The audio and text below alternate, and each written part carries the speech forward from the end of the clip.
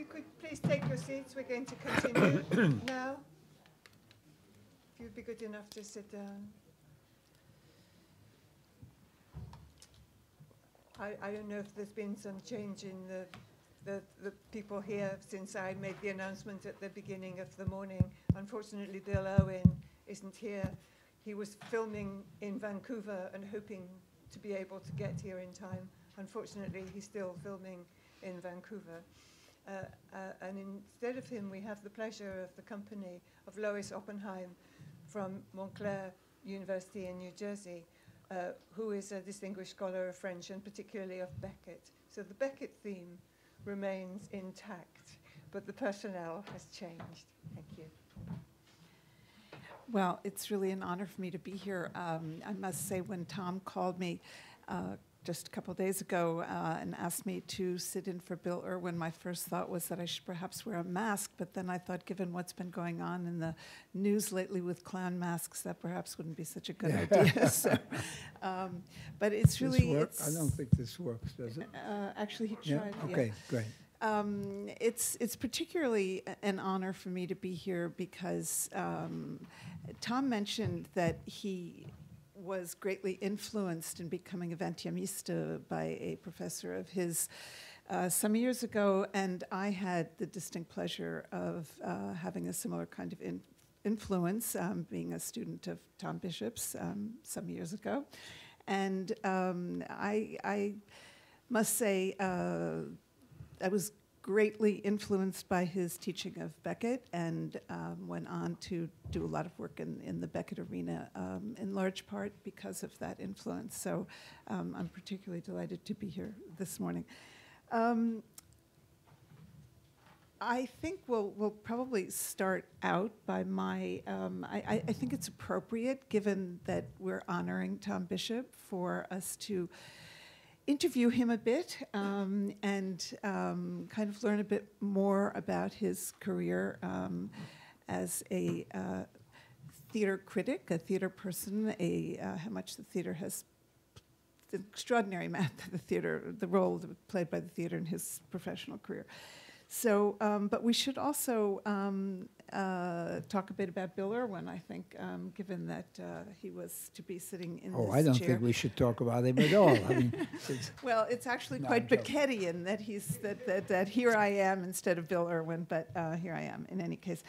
Um, so I, I'd like to begin by asking you, Tom, um, whether any of the actors, including Bill Irwin, um, of the sort of second generation of people doing Beckett, um, are at any kind of a disadvantage for you in that, um, you know, we have these images so deeply implanted in our minds of uh, Jean Louis Barrault, of Pierre Chabert, of um, uh, Patrick Magee, of Billie Whitelaw, of, I mean, I could go on and on. What happens when we have these images? Um, uh, take Billie Whitelaw as an example. I, it's very difficult for me to see other people do not I ever since Billie Whitelaw was so extraordinary in it. Um, was that ever a problem for you? Sure, it's a problem.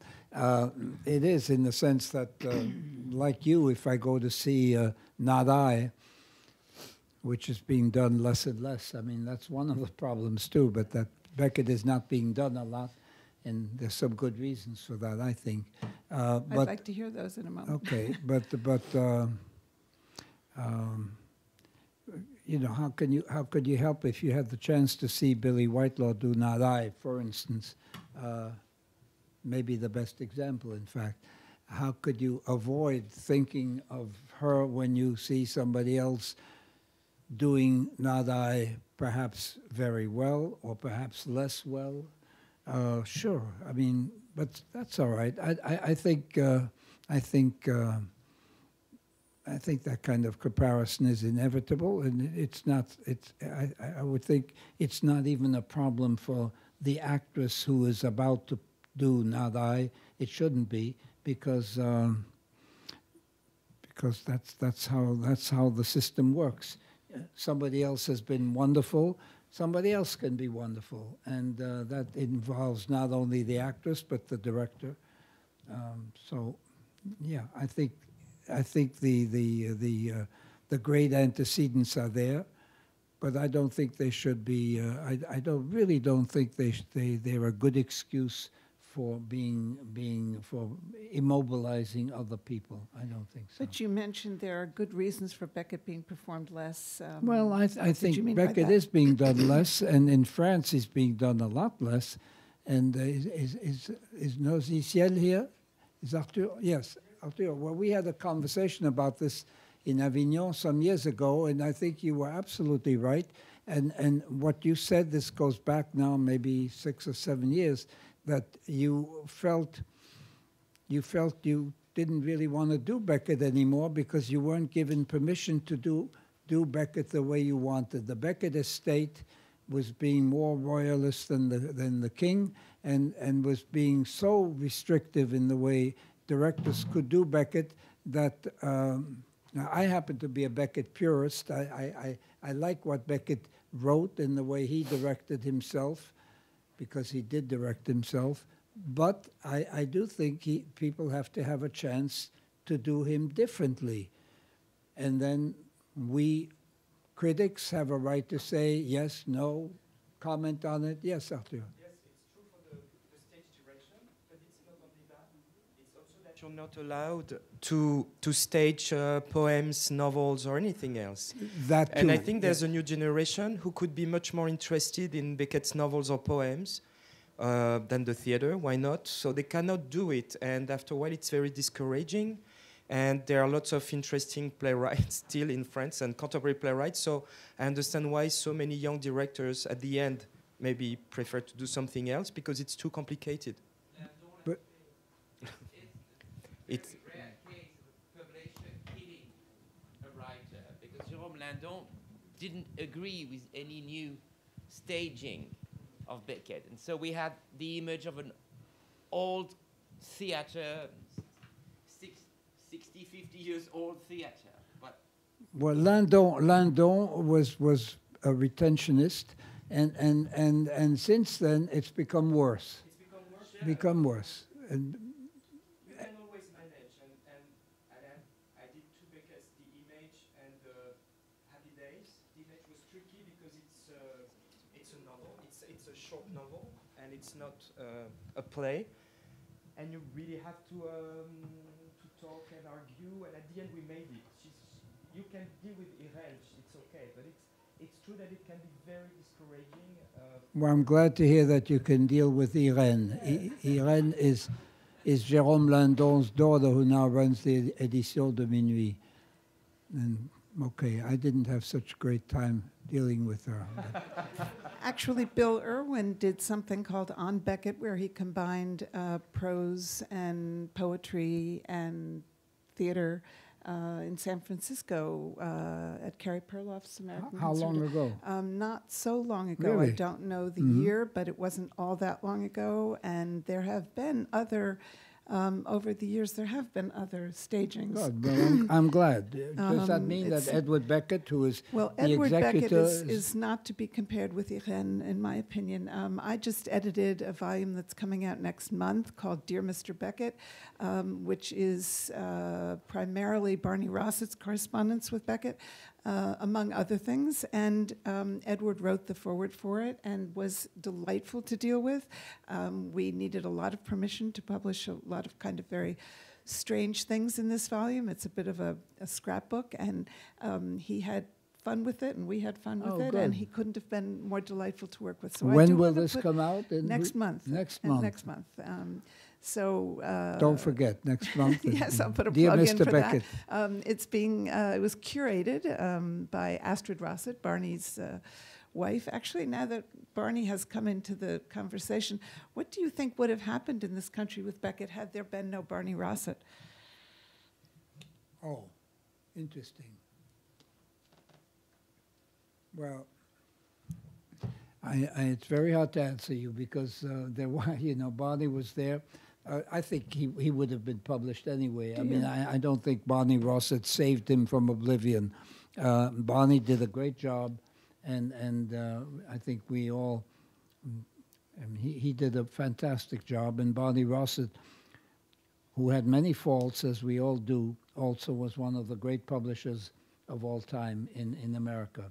So, I have only good things to say about Barney Rosset.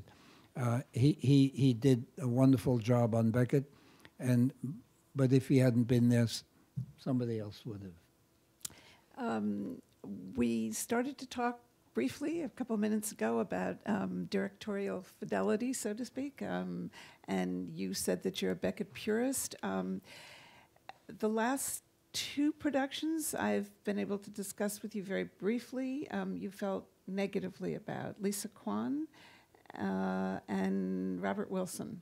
And maybe you could say a word about why you felt that they did not Oh, conform to your oh, okay. taste. So, all right. um, I, th- you, Christopher Isherwood wasn't asked to, to defend plays he didn't like. Uh, I, these are performances I, I didn't like. Lisa Dwan's, um, Lisa Dwan pr- uh, staged uh, Not I Right. not long ago, a few years ago. She's, she's a remarkable actress. I had not, not met her before. Anybody here saw her At She- Lincoln Center. at Lincoln Center? Was it Lincoln Center? It was the, Right, Lincoln. Yeah. I forgot where. I blotted that out. Uh, but uh, her her cl- her claim and her advertisement was that it was going to be done. I think in in seven and a half minutes, Something something, like that. outrageously now, fast. Not I. Uh, Billie Whitelaw performed Not I on on video and uh, and live, and she did Not I in about 12 and a half or 13 minutes. Not I is a text spoken extremely rapidly, extremely rapidly. Um, the text is spoken over and over, so that if you don't catch it the first time, you can catch it the second time, but you can get at least the drift of what the text is about. You do understand the text in 12 and a half minutes. The idea of doing it in seven and a half minutes seemed to be, as far as I could see, completely absurd. I mean, why bother doing this in seven and a half minutes? But I went to see it, and it was absurd because you couldn't understand one single word. I couldn't. Uh, however, the production was highly touted and very well received by the New York Times and other, uh, maybe Christopher Isherwood, I forgot who did the review, uh, as if this were really the, the, the, uh, the, the new arrival of, of understanding Beckett. I didn't think so, and I regretted it, although I, I then had a long talk with Lisa Dwan and, and did not hesitate to tell her what I thought. And she, she, she took it, uh, we, we discussed it. She believes firmly in her way of doing it, but she's also going to do other things of Beckett. She did two other plays of Beckett on this evening uh, Footfalls, I believe, and I was, I, I, I don't know, I forgot was in what the France third at the one time. I was. didn't see it. uh, which didn't particularly impress me either, but they were they were not they were okay. They were okay. Uh, I'm sure we will be seeing Lisa Dwan again. The, the the other one is is what Robert Uh, Wilson, Oh well, Craps okay, Tape. that that happened. Uh, Lois, my dear friend Lois, whom I thank for being here, uh, and who is not Bill Irwin, uh, teaches at Mount. Well, she heads the French uh, the, the French department at Montclair University, which she created, which she she really has made into a first-rate department, and Montclair University has a great theater, and in this theater. I don't think you saw it, did you? No, you never go to the theater there. For some reason.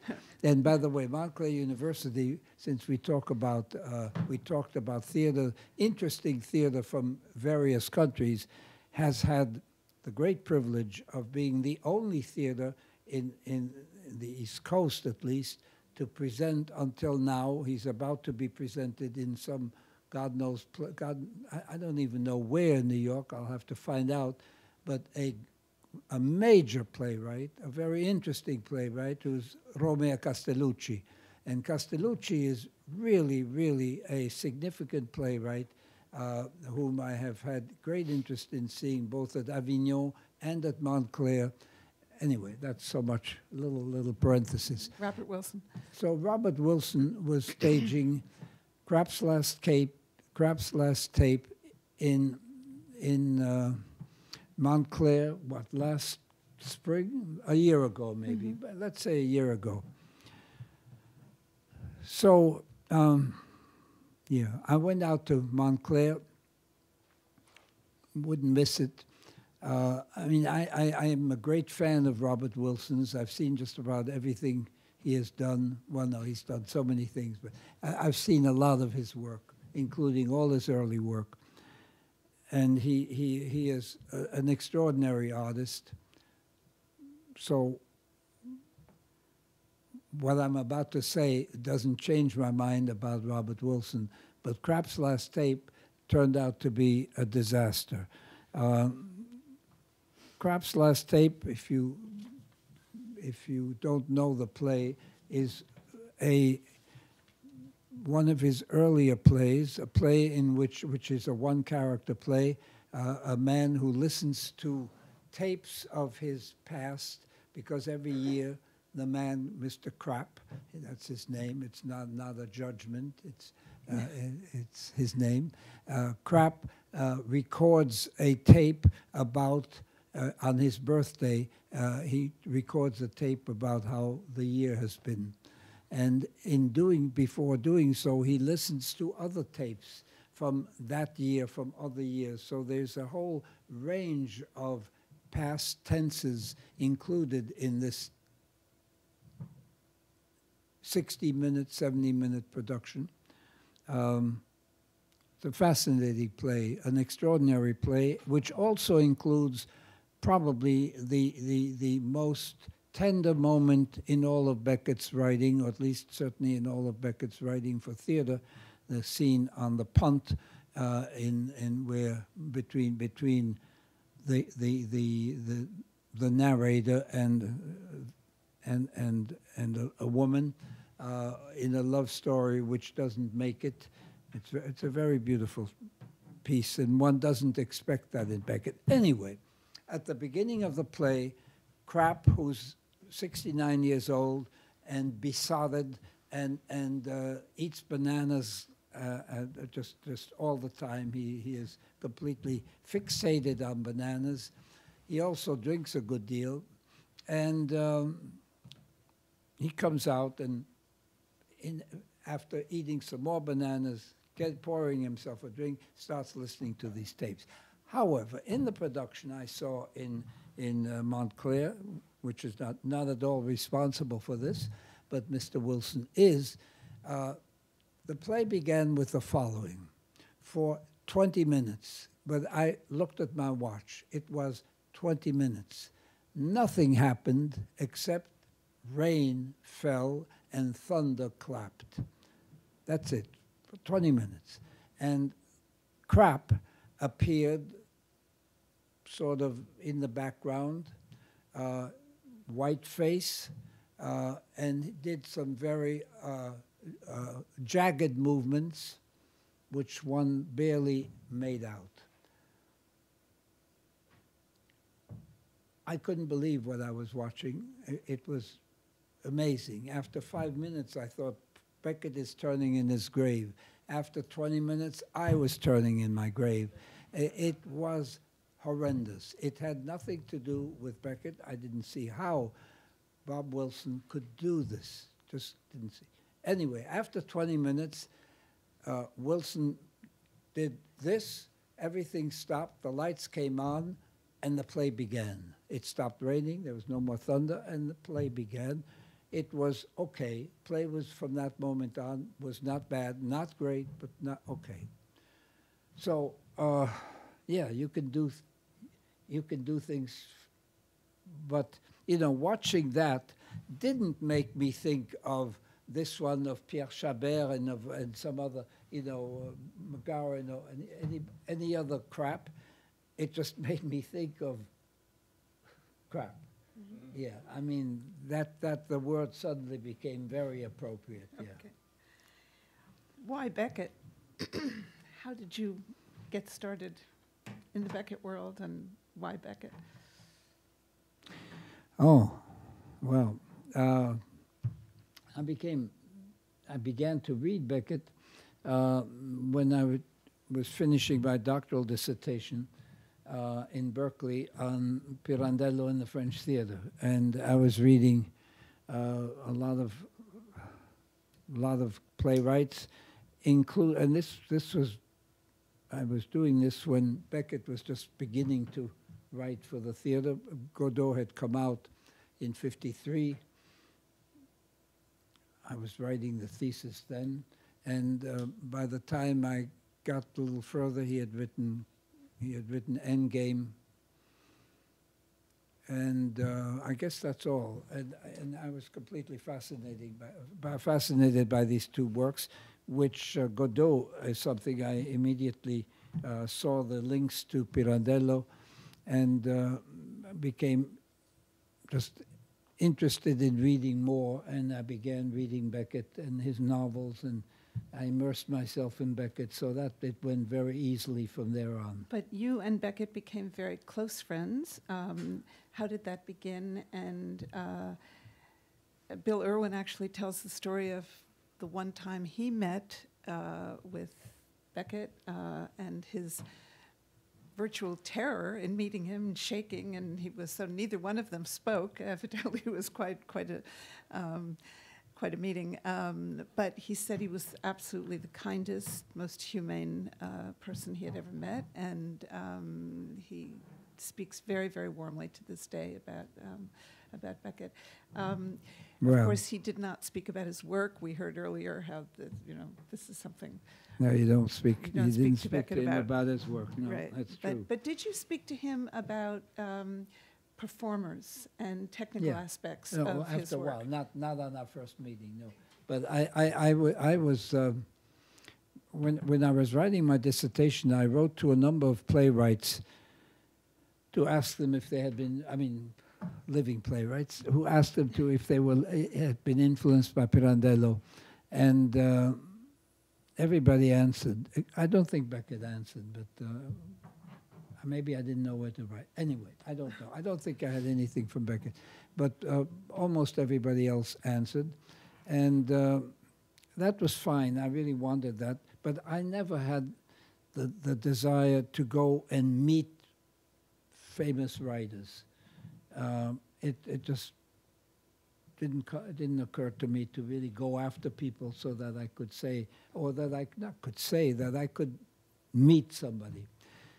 But when when I was really immersed in Beckett, I did want to meet Beckett. I was very interested, and I had a friend, a good friend, uh, who was well, I, two good friends who knew Beckett. Uh, one of them was the poet Alain Bosquet. Alain, uh, Alain was uh, a Belgian uh, sharing his time between France and the U.S. Uh, his wife was American. Uh, anyway, I saw a good deal of Alain, and uh, he told me a good deal about Beckett. So he knew Beckett, and he said he would get me together with Beckett.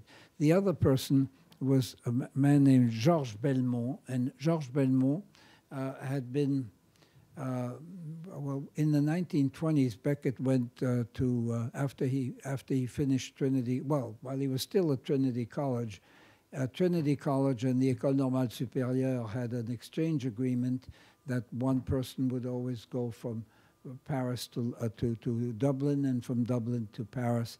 And the exchange that year was between Beckett, who went to Paris, and Georges Belmont, who came to Dublin. So they remained friends for life. Alain Bosquet, in any case, finally said he worked out a lunch. He uh, invited me to have lunch with Beckett and then uh, told me rigorously how to behave. And how to behave was to, not to open my mouth, not to say anything, just to listen, listen, listen, and, and, and to do nothing. I was fully intimidated. We, we, we, we, uh, we had lunch at the Coupole, and uh, Beckett didn't say much. Uh, Alain Bosquet talked endlessly, and he talked all the time. And he spoke about his trip to the to the uh, no to the uh, to to Mexico, to the Yucatan, and uh, he kept on talking about it. Beckett said a few words. I said practically nothing, and and the lunch was over. And uh, the ne- the next day, I saw Georges Belmont, and uh, Georges said to me, "I hear you saw Beckett yesterday. You met Beckett." I said, "Yes." He said, "Well, he asked me to tell you." That he unfortunately didn't have a chance to talk with you at all since Alain Bosquet talked all the time. He said he'd love to see you the next time you come to Paris. Will you call him? Which I did, and from that time on, uh, we well, I, I, I always saw him when I went to Paris, which was fairly often, and uh, we became, with time, very good friends. And uh, I had a close relationship to Beckett, who indeed was a lovely, tender man. Um, for instance, um, I had a son who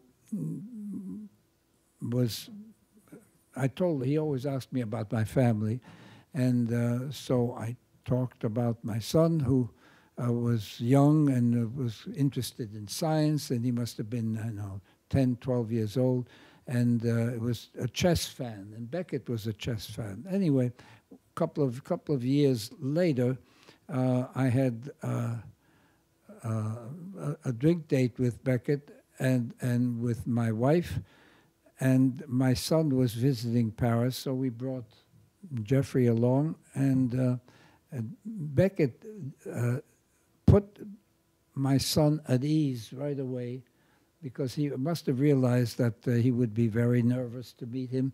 So he started talking to him about chess. Beckett himself was a great chess fan, so he, he just put him so much at ease, so much so that uh, Jeffrey, my son, uh, whom I had told, just as Alain Bosquet had told me, don't talk to him about his work, don't say this, that. Most of all, don't talk to him about his work. Emboldened by, by uh, Sam Beckett's uh, generosity in being so nice to him, Jeffrey said, uh, Mr. Beckett, uh, which of your plays do you like the most? I wanted to dig a hole and just disappear. Beckett smiled ruefully and said, well, I love the answer. I guess the one I dislike least is Endgame. It's a wonderful story. Yeah, it's a, it's a lovely story. But I mean, it, he he was so gentle, s- and he really cared. He cared. Some years later, uh, number of years later, my son died in an accident. Uh, Jeff uh, Beckett was so grieved by th- by by this loss of mine. Uh, I can't tell you. He he was he was deeply deeply touched and. Um, he, he, he, he, you know, he was somebody who avoided publicity, and he is, it's well known he didn't give interviews, he didn't want to be photographed, he, eh, he, he just wanted to be left alone because people were always after him. But when he was left alone, or when he was with close friends in small groups, he was just lovely and caring, and uh, he was somebody I loved dearly, and uh, till the end of his life. Yeah. Why do you think that there are so few women directing Beckett, or have been in the past and continue to be today? There are very few women directors of Beckett. But there are very few women Directors, directors. period. That's yeah, true. there there are too too few true. women directors, and and uh, I think that's changing now. Uh, in this country, in any case, uh, I think there's more and more women directors working in New York, which is great. In Paris, are there women directors? Not many. Well, if, if I may answer, Yeah. in my generation, it has been complete failure in my generation. This is Olivier Py Olivier Py, whom you will hear uh, tomorrow, I guess. Today? I, I don't know. Today. Tomorrow morning. Olivier Py, who directs the, the, the, uh, the Avignon Festival. It's becoming, when you're looking at um, 30 years old directors, it's almost 50 50. Uh-huh. Ah, oh, good. That's good, good, to hear. Well, then we're moving up. Yes.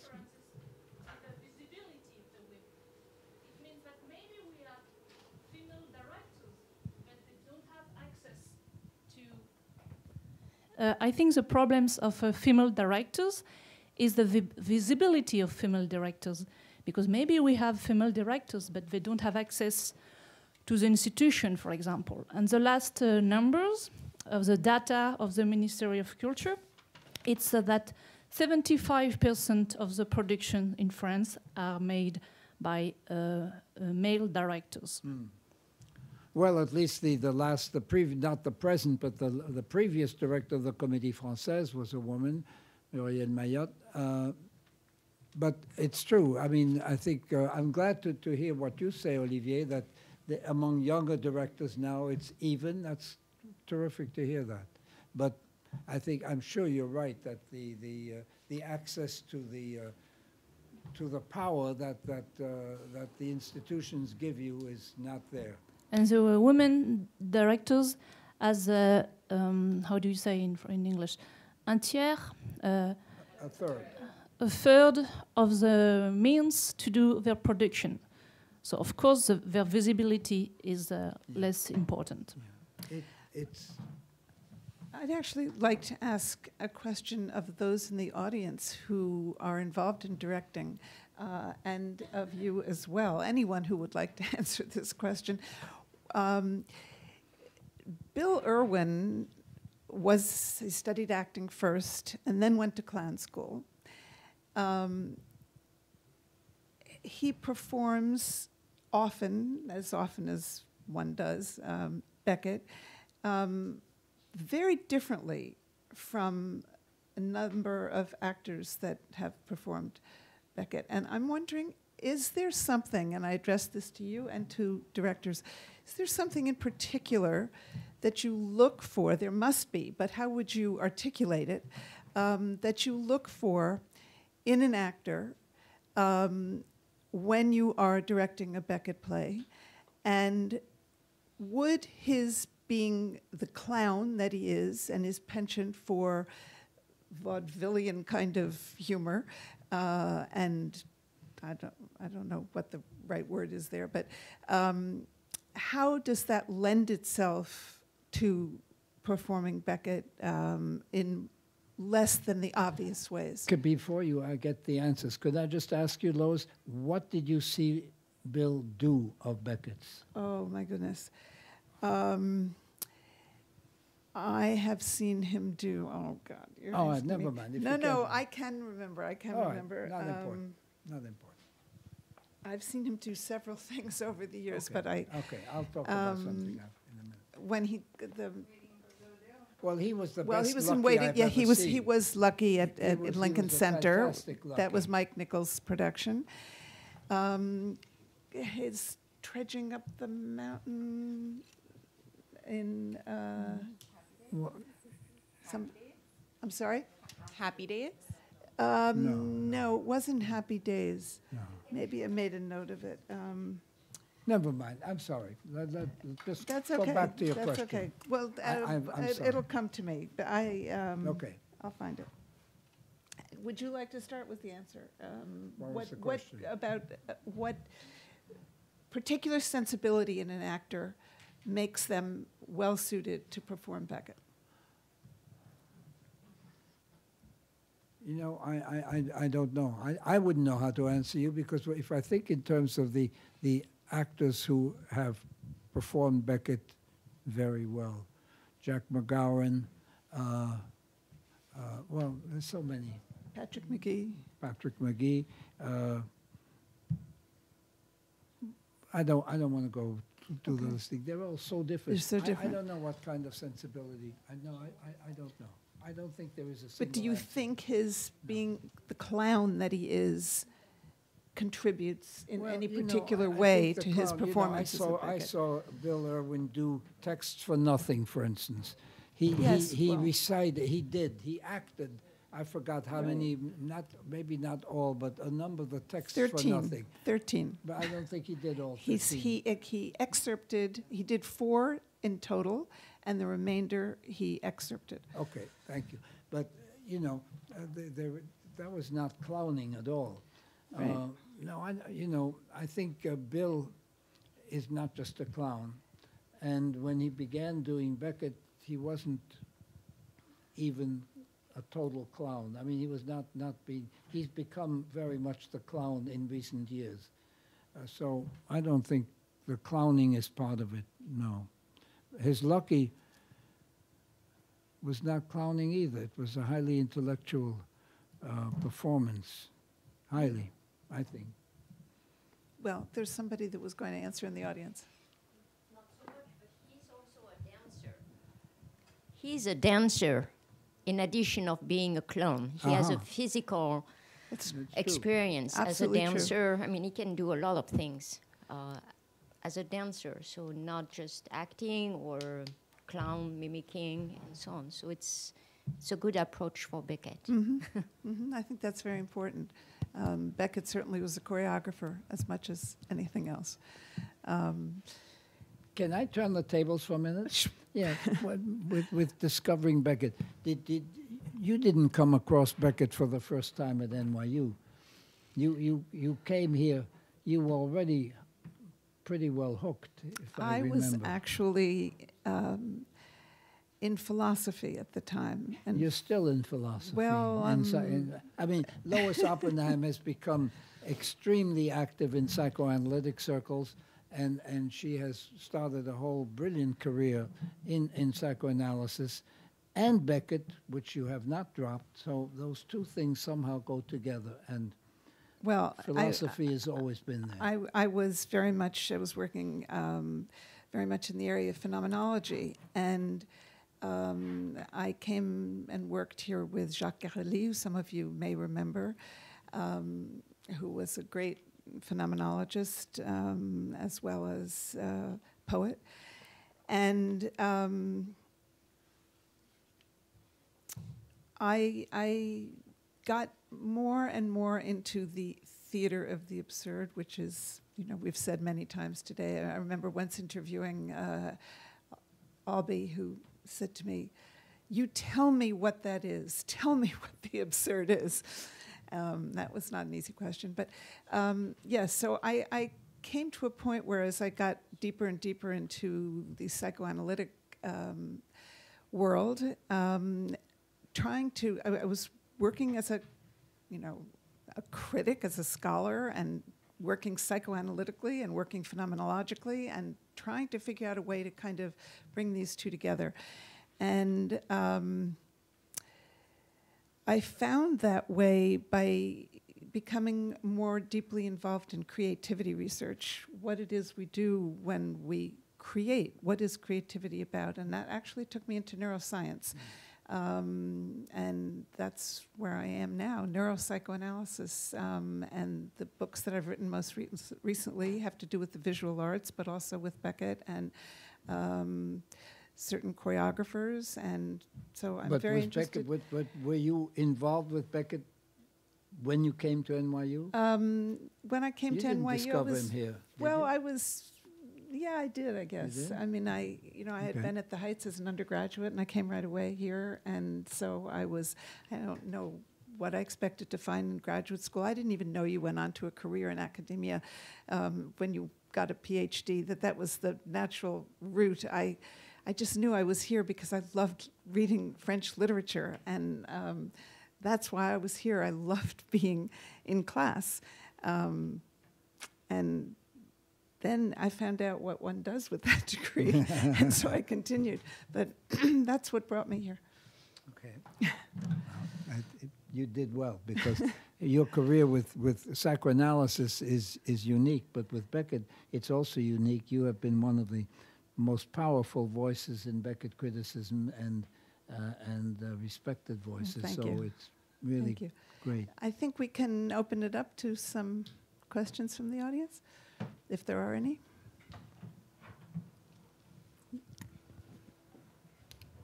Um, since um, I would like to know more about this experience of, um, I just forgot her name, Akalaitis starting to stage uh, Beckett with women.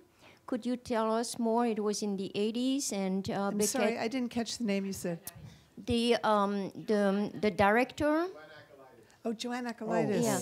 Oh, the Endgame experience, and Yeah, she wanted to stage the Right. play. she uh, put with, it in a subway station. yeah w- with Yeah. women, and Beckett dis- disagree. Could you tell us more about the um, what happened, the story, um, how it, the discussion? She was directing with the American Repertory Theater in Cambridge, Massachusetts, and um, it was the location above all that that. Um, it was said earlier no, today. That production was not intended by Joanne to be play performed by women. no, it was may have not. been it was else, not. but no, not- no, not that not it's that another production. one. Yeah. Um, no, Joanne Akalaitis, the problem with that production was the location. And it wasn't that Beckett would have been opposed to putting his play in another location as much as what was implied by the location that was chosen for that play because it changed the texture of the play, it changed the intention of the play, and that's what he objected to. Um, ultimately, what happened was that uh, the legal agreement that was eventually reached was that an insert was put in the program saying that, you know, Samuel, I, Samuel Beckett, this is not the play that I, that I intended, and this is a distortion of my play. Basically, that's what it. But there were, later on, um, Estelle Parsons wrote Beckett a letter, a, a wonderful letter that appears in the volume that I mentioned earlier, Dear Mr. Beckett, um, where she asked if women could be in Waiting for Godot. She wanted to do it with Shelley Winters. And she wrote a long description of her career, saying, I'm, I'm sure you're familiar with what I've done and what Shelley Winters has done, but in case you're not, here are my credentials, here are her credentials. This is why we want to do Waiting for Godot with women. And he wrote back in typical Samuel Beckett form Waiting for Godot is not done by women. I regret. And that was how he Well, ended but he said something else at one point, maybe for this or for another production, which is that that uh, women don't, uh, uh, y- y- you know, in waiting for Godot, uh, Didi has to go pee all the That's time. right, He has that's to right. run off stage to pee, and he said that doesn't happen with a woman. Right. You just don't have that. Yeah. So I, I've directed Godot, and uh, that's another story. I had a fight with them. I had three Luckies and a few other things. Uh, but about women, because I'm planning a production of Godot with women. I'm Richard Schechner. I've directed a lot of plays. And have you And, received uh, uh, permission? no, I would do it with or without permission. The dead people's permission is not what I'm interested in. And um, I, uh, but I'm not doing it as women. I believe in gender blind casting. I'm casting women to play men to play the play. That's what I'm asking about. So in Chinese theater, Japanese theater, as you well know, men play women. there are also in at least uh, Chinese theater several companies where women play men. Absolutely. And uh, obviously, in the English tradition, there's the breeches tradition, as it's called, where a number of women have played Shakespeare. Started with Cardinal Wolsey, but a number have played Hamlet, including Sarah Bernhardt and so on. So my production, which I'll probably do, I won't say where, but I have an offer to do it, um, will cast um, two women to be men to play those roles, but they will break in the middle of certain scenes to discuss the roles as women so that their womenness comes out as the play breaks open. Uh, I will also have Pozzo and Lucky played by very young children. Uh, you know, I'm in talking six, seven year old, eight year old children. And the Pozzo kid uh, in pillows, you know, very large, and the lucky kid will have it, that voice. And they will be boys. Now, uh, I wonder what your reaction is. Two questions. One to the, the idea of the mise en scène. I don't know the details until I uh, complete it. Uh, but the idea that someone from the grave can control the interpretation of a play is hateful to me. It was even hateful that a playwright could do it while alive. And the reason it's hateful while alive, because I think the theater is a living art. I think the, uh, my position is well known on this, but I think an author offers a text as material. And if the author, I've had a large fight with Sam Shepard about, I did the world, uh, the American premiere of uh, uh, uh, Tooth of Crime, and I did it differently than he intended, and we had a long dialogue about it. Uh, because I feel very, very strongly that the text of a play is material, like an actor. It rehearses like an actor. And if the author wants to control the production, fine. Let the author stage as many productions as she or he might want to do. But to control someone else's production is not artistic freedom to me, it's hateful. I would answer that, if I may, uh, by saying that I have great respect for your work, um, have long had great respect for your work, and I find that idea um, very distasteful. Um, that's not the play that Beckett wrote. And so, but why do the play an author wrote? Just a moment. Because- Uh, uh, hold on. the, the Greek plays have been done over and over and over again, not as the author wrote them. I've done some significant ones there too. Shakespeare, do you, do you want to not do Hamilton? Do you want to not do, you want to tell that Shakespeare, we should do it as the author intended? We should only do it outdoors with daylight in the afternoon? You know, do we want to do Racine only in uh, uh, uh, French uh, theaters of the 17th uh, century, the way he intended? In other words, the intentions of playwrights dry up with history. Are we going to forever? When, when does Beckett dry up with history? Sorry to be a little know, that- passionate. that's that's what I was talking about before. That he's being rarely performed now, bec- for for those reasons. And and the the the uh, the business of uh, Joanne Akalaitis and uh, the old story about the an end game uh, in in the subway, the abandoned subway station, was was a very important uh, moment in Beckett because Beckett was ready to interdict that performance, and a lot of people, myself included, tried to get him to change his mind so that he would not interdict the play because we all felt that interdicting anything was the wrong thing to do. And he finally didn't interdict it. But the whole idea was that Endgame, you know, I, I don't think, I think Endgame would have survived that production. And, and I, I think, I do think that you have to give a director the freedom to do to approach a play and to do it differently. I agree with Richard, and and and uh, you know then all of us can say, "Oh, that's no good. We don't agree." Or, or it lives. but, but there's, see there- anything at there's all. a All right. question of degree. Albee did Ohio Impromptu, where it was repeated instead of two times, three times. So, and he did it with a biracial uh, cast, and he changed several things about it. He changed Krapp's last tape when he directed it um, a little bit, uh, but he didn't. He expanded, in a sense, upon the text, but he didn't change the intentionality, and and I find to give the roles of to give those roles to children. I mean, that alters what happens when the oh, boy comes in Of to the scene. Of course, it alters it. That's the whole point Well, of a obviously, living but- theater. but- it's not the whole point of a living theater. I've heard Mozart played as jazz. In other words, when we go, how far down the road of intentions do we go? Because his, the history of dramatic literature is long. If you want to go down that road, you have to be consistent. Why only this man? Because theater is not only about Go, go ahead. You have the mic. Uh, go ahead.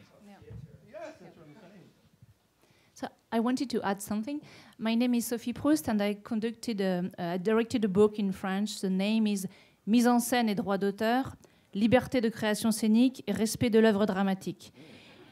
It was a book with uh, 30 authors, which were um, advocates, um, ayant droit, so people, uh, um, the, um, uh, Copyright and intellectual yes, property lawyers. copyright people and uh, you, uh, academic people, artists, directors, and so on. And uh, I wanted to, I interview Irène Lindon uh, by phone, but she refused to come to this uh, conference. And she refused as well to our meeting to be published because it was very interesting. But uh, it's very interesting because all the time we speak about the, um, the rights about um, um, about Beckett. um, we see a difference between US, where you have the copyrights, and the rights in France, because in France we, you have the patrimonial rights and the moral rights, and in uh, US the copyrights means that you can buy uh, all the rights. Uh, instead, in France, you can't do that, and the moral rights is always always uh, um, is, is always uh, in living, if, uh, living, if I can say it. But for Beckett, there is something that not so many people know, that some of the rights um, belong to Irène Lindon, uh, aux éditions de Minuit, but some of the rights belong to a nephew of uh, Beckett. And it means that you have some production of Beckett where, um, which uh, gives a possibility of, the, of a kind of freedom by um, directors because they will contact the nephew. And so you can understand that you have some troubles with the nephew and Irène Lindon. But um, it's interesting to know the law, which can be different with rights in US and in France, because there is a, a big um, defense of property in, uh, in France. Uh, I'll stop after this, but I did have dealings with the nephew when I did my version of Godot. And I'll just give an anecdote of what happened because it had three luckies and two boys. It took place both on the stage and in the auditorium. So it was quite different than uh, Beckett's uh, Godot. And we did it at Cornell University, no problems, because he never found out about it. Then we were uh, brought to, and we paid royalties. Then we were brought to a festival in, in, in Warsaw, a big festival, and they did find out about it. And so the nephew we contacted and they uh, interdicted the production. So I'm smart too. And I said, good, I will give a lecture entitled Why I Cannot Do Waiting for Godot instead of doing the play. And the lecture came and I invited the audience and I said each time, in order for you to understand the problem, I have to show you certain scenes from the play that uh, was interdicted. But I don't want to violate the intention of the whole play so that in order for you to understand the scenes that were interdicted, you have to see the scenes that were around those scenes. in other words, they did the whole play. and at the end, we had a discussion of why they prevented it. Now, they never took any further legal action. It was at a festival, it was done a few times. But the principle is the same. I think the gentleman back there, uh, la vie du théâtre is très, very important, très important pour moi. And it's a living art. And I think it's in commerce with playwrights sometimes, as we'll hear this afternoon when we have a panel with uh, uh, Sophie Proust and uh, Josette uh, Féral and one other person, Malik Gaines. Uh, uh, the, the contemporary theater is highly visualized, highly oralized. Literature is part of it, but not all of it. And what I heard this morning, and I only heard part of this, literature seems to be in this room on the top, on the apex, on the the top of a, a mountain, uh, the ruler, the, the god. And I don't think literature is. I think it's a player, but not the principal player, and not the most important player necessarily. In some works, in some productions, peut-être uh, l'auteur c'est uh, primaire, mais un autre, non. And, and that flexibility I'd like to hear more about, or I'd like to hear why one opposes that. Why one wants to still say that the writer is the most important uh, player, even though the writer is often the only player who's not present? Well, um, I think we're. I, I, I think, Sophie, I think we need to end this session. Besides, it has gone into uh, into a completely different session anyway. Uh, but most interesting, I don't think we're going to solve the problem. I would add one thing. I would add one thing. I, I, I, I, told you what I thought. I think I think I think you're right. I do think the author. I think the. I think. I think this has to be liberated, and and I think directors uh, have to have the right to to to invent, and then we have the right to not like what they invent. You call yourself a Beckett purist. Alan That's Schneider, who was for you. Yeah, well, he's talking but about for, not to keep anybody else from doing something.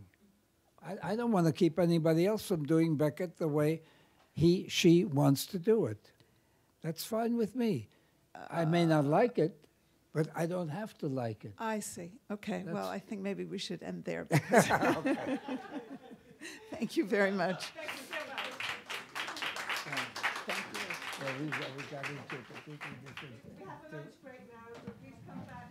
At two thirty to hear Well, it's okay.